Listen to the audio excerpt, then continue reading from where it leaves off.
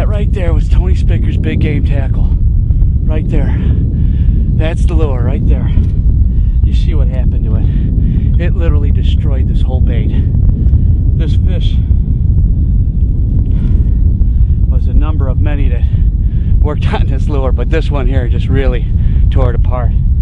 This lure here has seen about eight fish, and uh, unfortunately, I gotta get a new one. But wow, what an awesome, awesome deal. Let's take a look at this guy here. Oh boy, oh boy, this is a heavy fish. Heavy fish. And uh, oh, you know, this fish here is 43 inches. 43, baby, 43.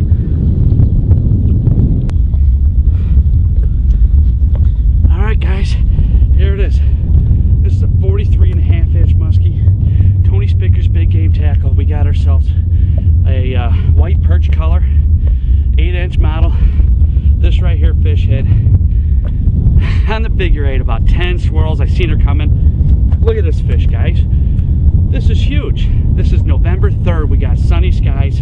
You can't go in when it's sunny. You got to continue to fish. Look at the size of this fish here. 43 and a half, man. I can't even get this fish all the way in there. Let's get a picture and get it on.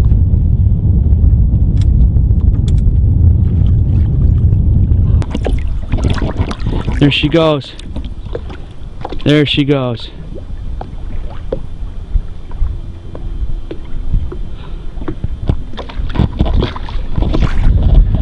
How awesome is that? That is awesome.